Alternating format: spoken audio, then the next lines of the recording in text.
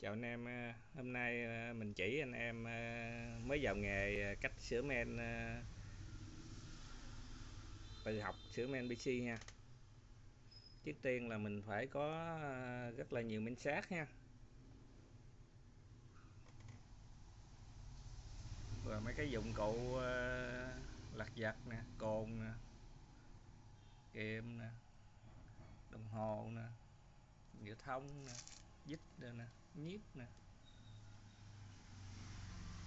không cần đồ xịn nha chỉ cần mấy cái à, thường thôi. Loại đơn giản thôi.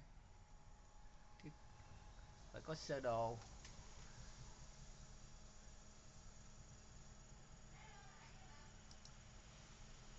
Sơ đồ biết vị trí linh kiện nằm ở đâu các mức nguồn đồ. Để mình à, sửa. Phải có à, hàng khò linh tinh men men sát nhiều.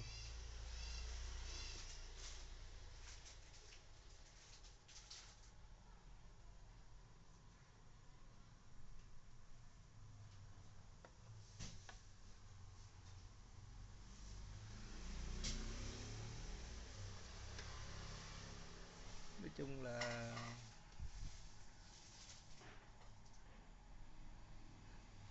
có những thứ này thì mình mới ờ, bắt đầu vào sửa men nha